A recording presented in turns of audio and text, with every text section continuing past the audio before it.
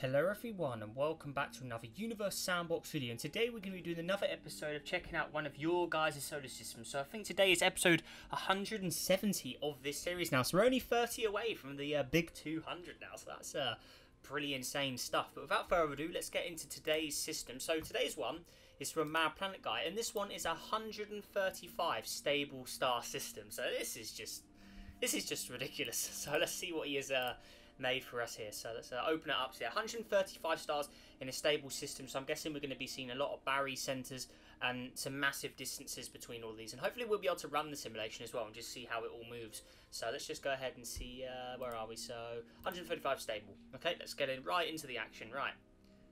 Come on, game. You know you want to load it. Oh my god, the music in the game has stopped. It actually stopped there for a brief moment. Okay, so sub to Mad Planet Guy. Yep, um, that's a lot of spam. so 135 star stables. So, oh my god, I can really feel the lag. Uh, what we'll do? Lag generator. Oh my gosh, right. So what's this all about? Lag generator. Is it is it just a planet or is there anything weird about it? It's just called lag generator. I mean, I mean it won't even let let me open it. oh my god. Yeah, okay, so that is very strange. Oh my god, right. So this is 135 stars. So, I mean, it may be quite hard to navigate this with how laggy it is. I mean, look at this. Look how far it goes. I mean, I don't think we need to view every star. I mean, let's be honest. I mean, that is just... It's like a galaxy. Look at this. It's still going. How far does this go? 130. We're only halfway at 70. So, oh my god. Look at this. How long did this take? Uh, look at this. Oh my god.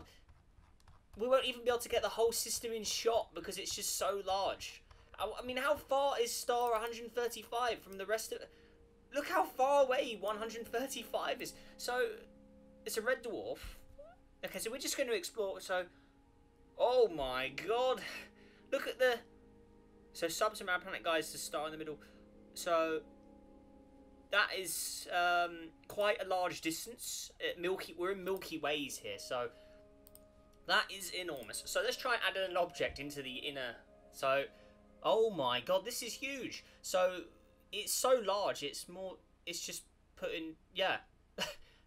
Look, I mean, look at the grid. 1.92 E plus 51 Milky Way. So it's just so large that the game can't even calculate the exact number uh, of distances this is. And look, I'm trying to add an object. Look how laggy this is. This this system is just a lag machine. Obviously, if you want to check it out for yourself, it's in my Discord server.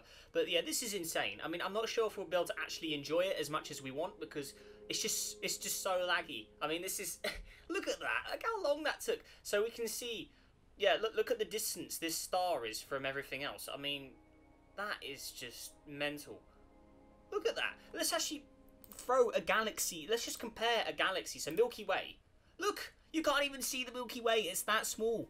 Uh, IC 101. Even the largest flipping galaxy, you can't see it. I mean, what, how far do we have to zoom in for it to show up? I mean, or is it just that broken? The galaxy doesn't even spawn. Uh, but, oh my god. Wow. Uh, yeah, I think it's probably best we don't spawn that because it will probably just crash the game with how laggy it is. So I kind of want to line them all up, but let's actually just have a look at what we've got in here. So is there any unique planets for us to visit, or are they literally all stars? Because I think there was planets. I mean, this, uh, yeah.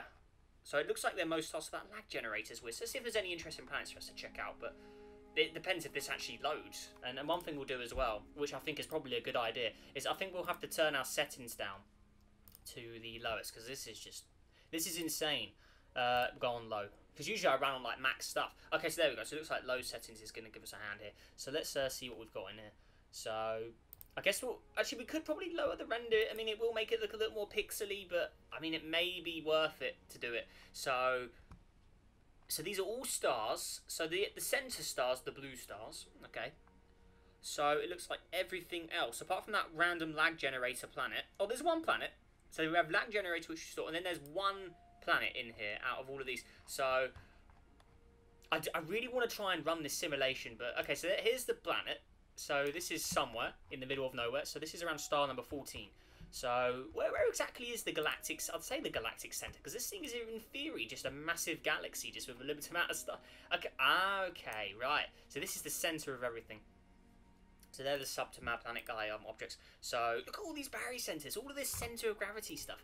So okay, so there's IC 101 compared. So if we were to place that there, okay, so that's the largest galaxy, right there. Okay, so you can see largest galaxy, and then if you compare this, so obviously all the way, it starts all the way down here in the center with the blue stars.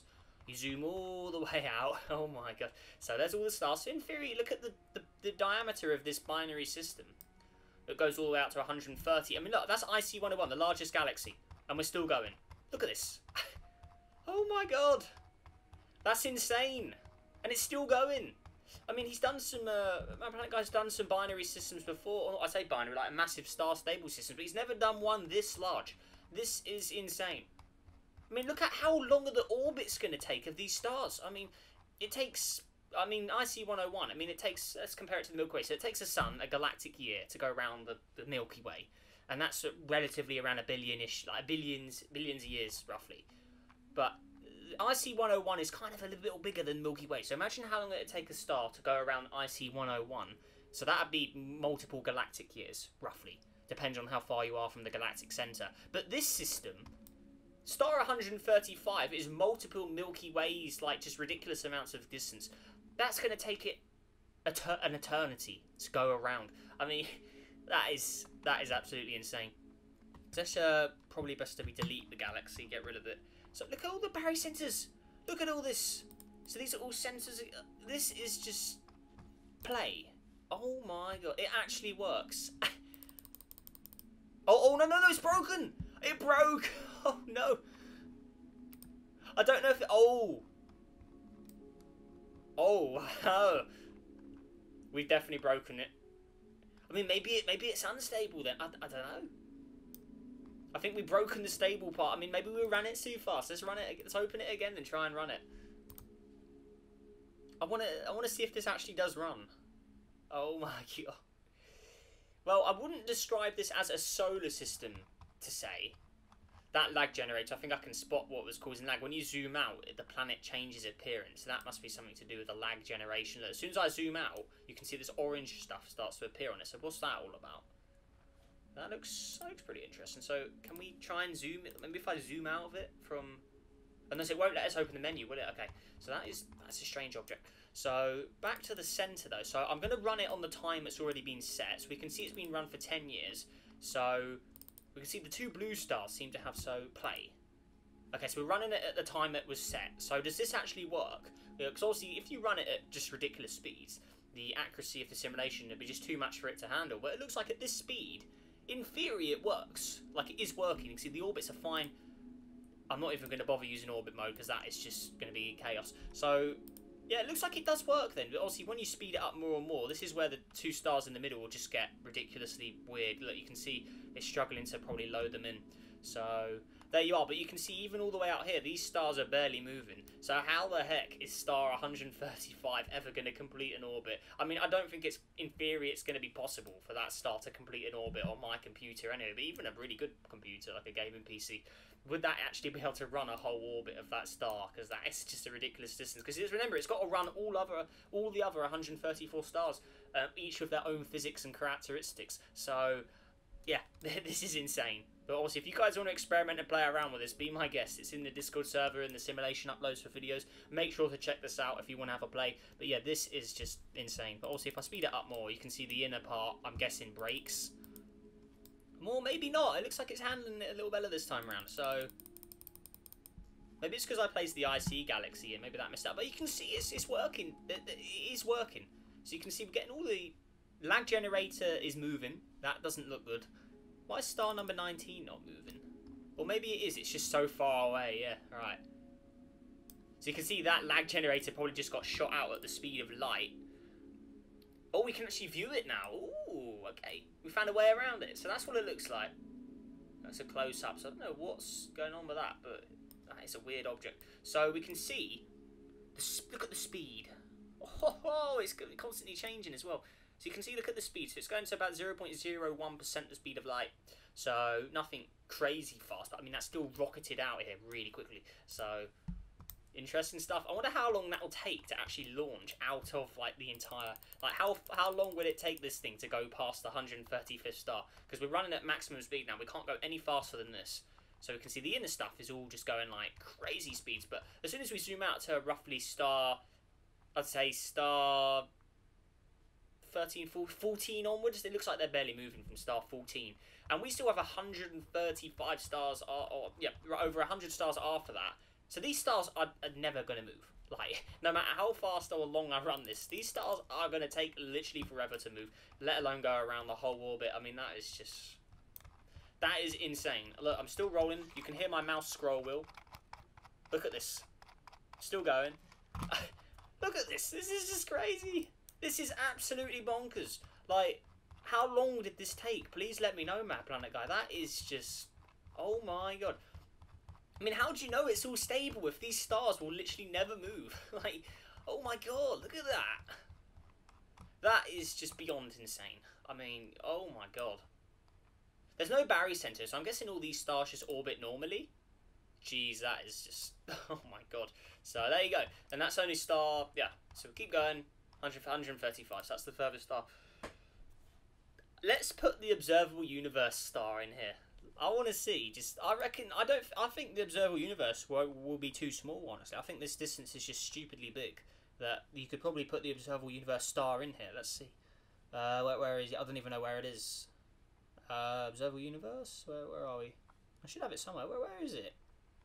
I never deleted it. So, um, where is it? I don't even know where my own objects are. Okay, there you go. Observable universe. Yeah.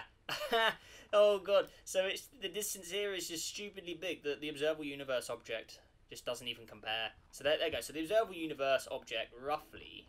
Okay, so let's see how far out this thing actually goes. So still scrolling. Okay. Oh my god. Right. Uh, pause. Uh, still object. Okay, so there's the two. Okay, there's the barycenters. Okay, so observable universe. Okay, so observable universe goes out to roughly star 58. That's the observable universe. Look how much further it goes than that. that is insane. Uh, let's, um... If I turn off the glows... Okay, there you go. So there's the observable universe. Still going, still going, and it's gone. Like, that is... That is beyond mental. So, there, there we go, guys. That is just a uh, brief view into the stable 135 star system from Mad Planet, guys. So let me know what do you think of that? That is just... that is insane. Let's uh, delete this quick. Uh, the observable universe, if I can even click it. Oh, God. There we go, delete. Line them all up, boys. Look at this. Oh, my God. Look how long it takes to get them all in here. They're still coming. That's Look how long it takes. They're still coming from the... They're so far away. Even chart mode takes time for them to actually arrive. Look at that. oh, my God. Look! It's pulling in all the stars from the super far distances. Look, I'm trying to get them all in chart mode. It's still loading them all in. Look! Oh my god! Jeez, that is crazy. So even in chart mode, we can't actually line all the objects up because they're so far away. The chart mode has to move them all to the center. So look at this. This is just ridiculous. See all the stars just loading up. I mean, look at that. Look how cool that is. That is awesome. So just all the stars lining. As you can see, they're all filling up the positions. So the positions are already filled for all of the stars. So you can see all the gaps are all the stars that haven't arrived yet. But yeah, there you go, guys. So that does it for the 135 stable star system. So let me know what you guys thought of that down below in the comments. And yeah, so if you want to have a go, join my Discord server and you can find it in there if you want to have a play. But yeah, there you go. So that is the 135 stable star system. So yeah, really hope you enjoyed. Massive thank you to Mad Planet Guy. Please let me know how long this took you to make, because this is absolutely insane.